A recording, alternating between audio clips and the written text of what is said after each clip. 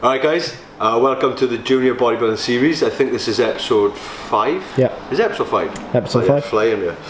Right, yeah, so we're nearly at 2,000 subscribers now, which is pretty cool considering it's only just started.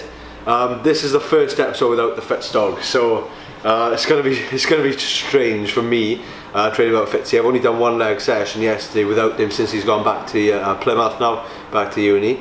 Um, I, I was just saying to Sunny now, I've never been one to have a training partner or rely on a training partner. I've always trained on my own and I've preferred doing it like that. Um, but since training with him through lockdown, because he was helping us draw up the gym, um, so we were training together every day. He's just, for the last six months probably, every single session I've had has been with him.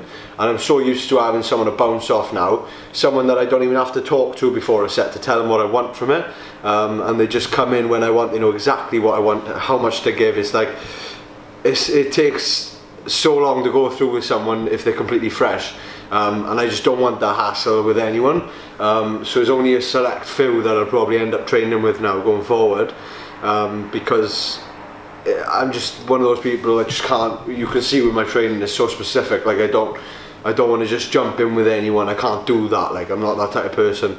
Um, so yeah, as much as I love training, um, uh, when I'm training, it has to be all about you know, I'm focusing all about me. That, that sounds selfish saying out loud, but that's that's what it's all about. And if you have someone with you that knows what they want and you can just help them then and bounce off each other, then that's that's when it works perfectly. If you're having to try and you know hold someone's hand through training, um, or they're asking too much or something like that, I'd rather just um, either do a full-on personal training session and just coach them, um, or I just won't train with them. Do you know what I mean? Um, so yeah. Anyway. Today we got push, the second rotation of push, so I've got two different rotations because um, they're so frequent at the moment. Today I'll be absolutely fine on my own apart from the four reps I might miss out on um, because it's majority machine work. So we've got the hammer strength incline as the big compound following by a pin loaded uh, convergent press. Uh, which I'm looking to progress both of these on. The hammer strength could be pretty cool, um, might be able to get a top set with six plates depending on how it moves. Last week was five and a half plates and I managed to get, let's see how many I got now, because if it was decent, um, I'll have to check the Instagram, I haven't noted it down. I got a back off with five plates for 11.5 anyway, so I think the top set was something like seven or eight. So anyway, enough talking, um, I'll give you an update on where I'm at with stats. Um, I think it's been five weeks. I think since we since we started this, we started this series from the push up. Um, so my body weight started at 91.8 kilos, which was a depleted version of myself. So I was expecting a big rebound anyway. A lot of water weight, a lot of glycogen, all going back in straight away, um, which bumped me up to about 95 in the first week, and then gradually increased now. And now I sat this morning at my heaviest in the morning weight um, of 103.1 kilo. Um, so it's quite a big increase there. All time highest is 110 and it was quite a sloppy 110, 110 kilo. This off season we could be looking at with the rate we're gaining and the weight condition is holding very well. We could be looking at 115, possibly 120, which would be freaky. Um, so yeah, that would put us in a really, really good spot. Not only in terms of body weight and composition, but in terms of the amount of intake, calorie intake I'd be at to be holding that body weight. So it would be ideal for prep then to just transition and have a really, really, really good prep um, for the competitive season, which we're going to be doing a lot of comps towards the end of 2021, which this is all about. Um, so yeah, I'll be able to talk to you a bit more this session. It's the first session where it's just me and you. Um, so hopefully I'll be able to give you a little bit more tips throughout. Um, we'll see how it goes, and we'll. If if not, if it's not as entertaining to watch, we'll be bringing other people in to train with me, um, a few of the boys, and, and see how that goes. And yeah, so let's just go. First exercise, um, we're doing crucifix, cuffed, cuffed crucifix laterals. There's always a fucking big truck going past. Always. Isn't it? Every time I try to talk. Um, but yeah, so cuffs. Um, I think we've got the Josh Bridgman cuffs. Everyone's been raving about these lately. They are really good and comfy, to be fair. Um, I'm not going to jump on the bandwagon and promote them because everyone's doing that anyway. but they are great. Um, so yeah, we're doing uh, the cuffs to pre-exhausted delts. It's a push session. Um, as much as I love a bro split, this has been working great for me. So currently on push and arms because we need to bring those up. So we're doing push and arms, um, two days on, one day off. Push and arms, um, then followed by legs, and then rest, and then push and arms, which is a different rotation, and then pull. So pull is basically back day with a deadlift or a row variation. So it depends. Um, but yeah, you you'll learn a lot about that, and I'll talk about that as we go forward. But this is just pre-exhaust. Um, so I'll work up. Um, I'll literally do a priming set, probably a full-on progressive set. I think. No, it's a priming set, which I talked about in the last video. So check that out. not going to explain every video. So a priming set, top set, back off set, and then we straight down onto the big press.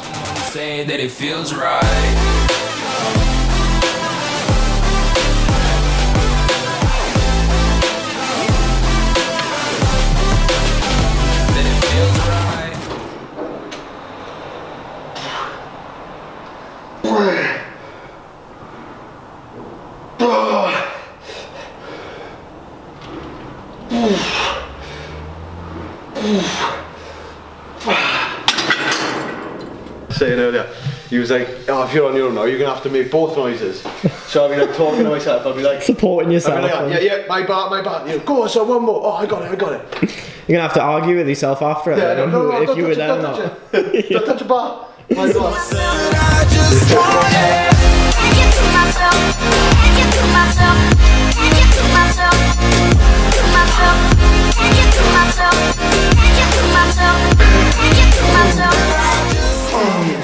As I'm doing the warm-ups now, we were just talking, and just ch chatting to Sunny anyway, and saying like, my motivation for getting into bodybuilding, and, and I still wouldn't call myself a bodybuilder, I do this because I love training, and um, yeah, it's, it's bizarre because the, the stereotypical bodybuilder, you know, bullied at school, uh, or really not happy with the way they look, want to change it because they want to look good.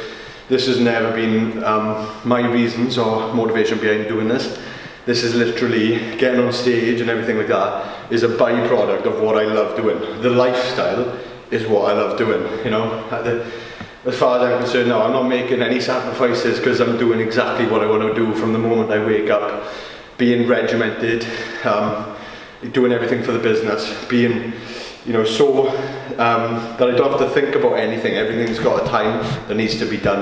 Uh, everything's got a structure throughout the day. I train at this time. I eat my meals in prepare, preparation for the training, and my post-workout is all in preparation to relax and, and grow. and it sounds so sad. Like, well, it doesn't sound sad to me, but for the normal person, it sounds sad. But it's exactly what I want to be doing, and um, that's why. That's why I'm just really happy because it's, it's great if we can fit them.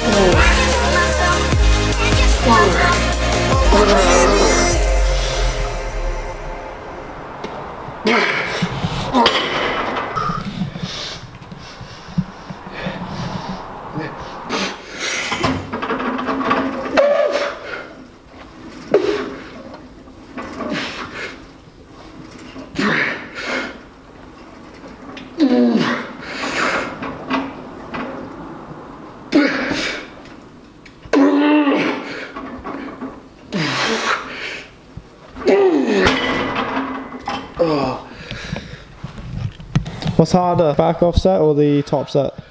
Fucking hard in both ways, like, yeah, they're both completely different. Back off is like, it's, it's more up there, I think, is um, how, how much, it's not so much, you, you can break down anytime you want to, you can stop anytime you want to, you can make yourself accept it, do you know what I mean? It gets to a point where like, easiest way to explain it is with a deadlift. If you want to, you know, you can leave that bar rule a little bit in front of you when you initiate the pull and you won't be able to move it off the floor. So there's little tap outs that you can do to yourself, and so that you can accept it and be like, oh yeah, I failed. We didn't. If it's, it's how much you're willing to keep the focus um, and intensity high to keep nailing the technique. Because if you keep the technique on, on spot on, you'll be able to keep pulling, keep going until it's your muscles that break down and they cannot lift that weight anymore. Um, but it's a mental game. It's, it's how much you're willing to do it for. Because um, it's so taxing when you when you're doing a back off set of like 15 to 20 reps with a deadlift of like 220 kilos. That's that's when it's like the set you've seen on last episode, the 220. Like it was, I think I got 13 dead stop. You know, I think a few of those before I was kind of accepting it, like the 11th rep and stuff. I was like purposely making it harder so that it was like I was accepting I was going to fail, and then I was like, no, no, no, let's keep going, let's keep going. A lot goes through your head during that moment. Oh my god, yeah, yeah. And this is what people don't realise. This is why I want to do this series to like talk to people so they understand what they need to be doing in a session because there's so much to every single set. It's, it's like, I can't explain it. It's like, it sounds like I'm off my bloody, it sounds like I'm off my tits talking about this now, um, as if my head's gone. But the more you go into training and look into training, first of all, when you first start bodybuilding, it's like, oh, how do I grow? Oh, four sets of eight, eight to 12 rep ranges hypertrophy, yeah? The more you delve deeper and deeper and deeper and deeper and deeper into that, the more you open up. And it's like, it keeps going. And I have no doubt, like I'm what, seven, eight years into this now, that by the time I'm 20 years into it, I'll be looking back on now thinking, fuck, I know nothing. Do you know what I mean? Because um, year after year, there's so much more that you're opening up as you experience it yourself. And I think you have to experience it um, to understand it. So, yeah. Big Keith, shout out again. He brought the belt down for us to add some weight. For, for Keith as well, I've mentioned him twice now. So I put a photo of him here. Um, and put his Instagram as well because we're going to be working together, me and Keith. Now I'm going to be programming him. Uh, he wants to get into powerlifting, even though he's a very experienced bodybuilder, far more experienced than me. Competed against Flex Lewis and Luke Sandoe. Uh, hell of a nice guy. So excited to start programming him because he reckons he can take the Welsh record bench press, and I totally believe him 100%. He can definitely do it if he puts his mind to it. If he stops maxing out every week. Uh, but he's a really strong lad, like so it's going to be exciting. If you want to follow him, follow his prep. Um, that's going to be pretty cool to watch.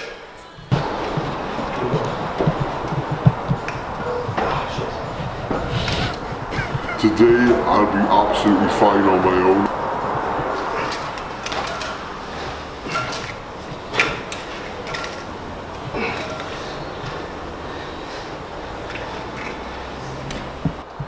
Yeah. With a giant cock.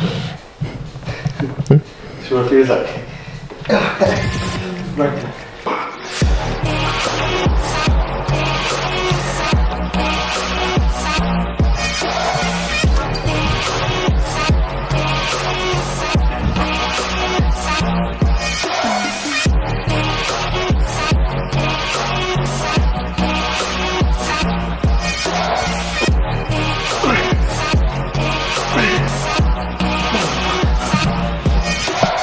Yeah, a little idea uh, maybe for next week, episode 6. If you have made it this far in the video already, uh, possibly may do a Q&A um, at the end of next week's uh, session. So um, yeah, if you've got any questions, comment them below. And um, yeah, we might answer them then. Hmm, dependent. Depending on what questions they are. and not naughty questions.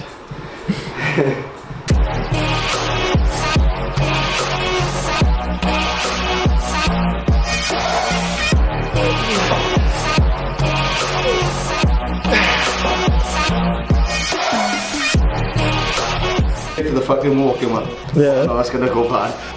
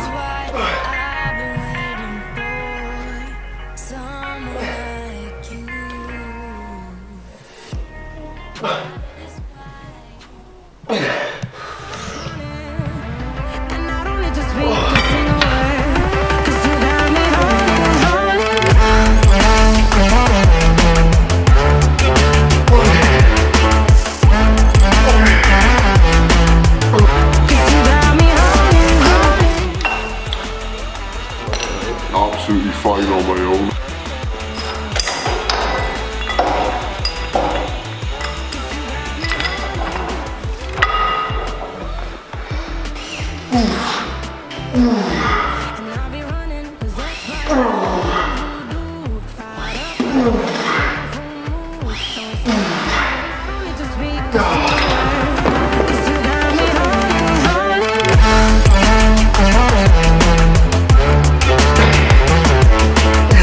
so the one one major change um, I've made to some of the movements that I can do it on that is possible on is where I normally have Fitzy or a training partner with me um, to push me through the concentric. Once the concentric phase, which is the strongest phase of a contraction, fails, which is always going to fail first, sorry, it's the weakest phase of contraction. So for example, with the tricep rope extensions now, as they extend, that's the weakest phase of contraction, yeah? Um, so that's going to fail first. The eccentric, when I'm coming back up slowly, um, is going to be the strongest. So what will happen is, that will fail first, I won't be able to fully lock out, that's what will happen. So I'll be able to get it down to about there and it'll be stuck. So I'm going to be using momentum, right, um, to carry me through that phase, to contract hard, and then slowly lower back down on the eccentric until I literally can no longer handle the weight at all. Um, and that's when I'll chuck it back. So I'm trying to take the triceps to complete failure in every phase of contraction every time. Um, as I am with every single set, that is the goal, complete muscular failure.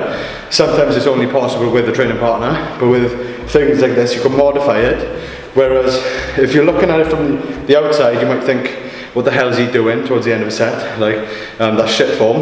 But um, if you realise what you're doing, it's, it's got a lot, there's a method to the madness, and that's, that's, that's what it is. So, yeah.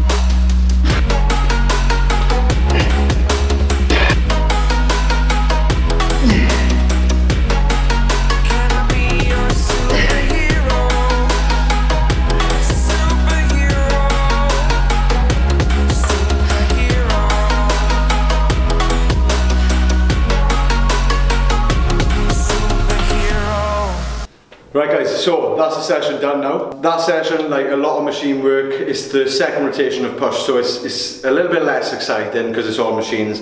You know, we like throwing about free weights, that's what we like to see. Um, but at the end of the day, this series is about showing you everything that's, that's putting together. So although this might not be as exciting to watch, I hope there was a few things that you learned throughout the video. Um, and let me know in the comments what you want to see, especially to do with that Q&A. Um, any questions and that, I'll get them answered in the next episode. Um, so thank you, make sure you subscribe, like the video, uh, and I'll see you soon. Make sure you check out the member site if you want any informative videos. Um, this series is just going to be on YouTube and the member site, but um, for, for all informative short videos, we've got loads on nutrition supplements, training, anything like that. That's all on the member site. Um, so yeah, check that out, www.teampowerbuilding.com. So oh. yeah, I'll see you soon.